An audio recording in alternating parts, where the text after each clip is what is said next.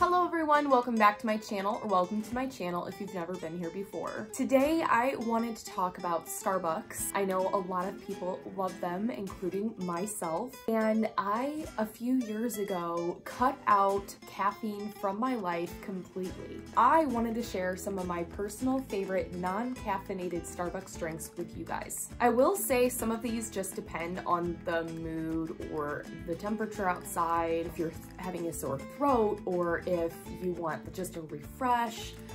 It just depends on the mood, whether or not I'm gonna order one or the other. There aren't that many options that are full on non-caffeinated, but I will let you know some of my favorites. Something that I was doing so wrong for so long is I was drinking the Very Berry Refreshers and I love the taste of them and I was obsessed, but I became addicted to it. I started to feel like I needed to have them if I didn't for a while. Then I realized that they do have caffeine in them, almost as much caffeine as in coffee. I had come to a realization that I was actually screwing myself in ordering those. Trust me, that was difficult.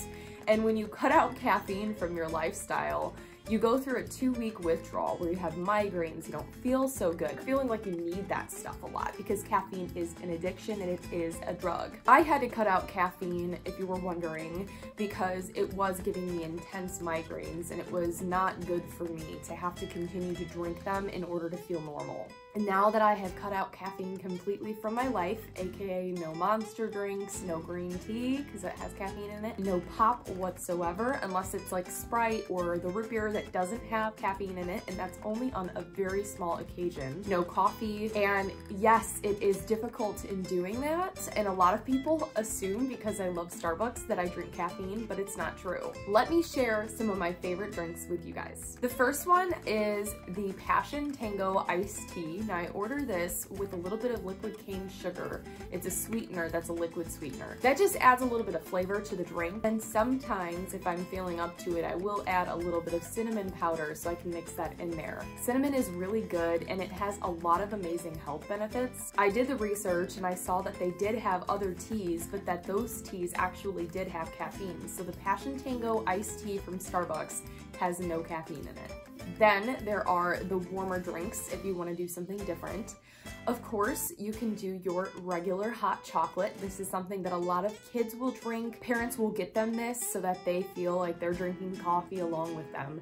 But on a cool day, or if I'm gonna go for a really brisk walk with my dog, if I feel like I'm starting to get something in my throat or I just want to have something a little bit sweeter, I will order hot chocolates with extra whipped cream. And just so that you guys know, a little tip, if you order a hot chocolate from Starbucks in a grande cup, this is how you'll say the order. Grande hot chocolate in a venti cup for extra whipped cream. They will not charge you for the upcharge of the cup. They'll realize that you want the extra whipped cream, so they'll give it to you. And sometimes even if you don't ask for that extra cup, they will give it to you anyway. And then I also will ask them to add dark chocolate curls on the top. The next thing that I would suggest ordering, they have things called steamers. There's different kinds of steamers that you can get. For the one I get, I get a vanilla steamer with whipped cream and caramel drizzle on top. And it tastes like a warm caramel frappuccino, except it doesn't have coffee. And I had confirmed it with the lady at the register and she said, no, it does not have any caffeine and I was good.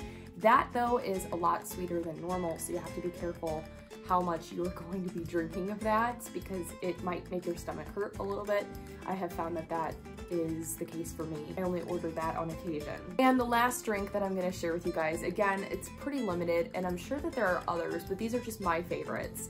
This seems pretty simple, but actually you don't have to pay very much to be able to do this and it's a nice little refresher that's not a refresher. Instead of ordering the Very Berry refreshers, those that have caffeine in them, you can simply just tell them you want a water, add berries they have different kinds of berries. They have their dragon fruit, they have their raspberries, they have strawberries, a bunch of different berries. And what they'll do is they'll put ice and then water, and then they'll add fresh freeze-dried berries in there.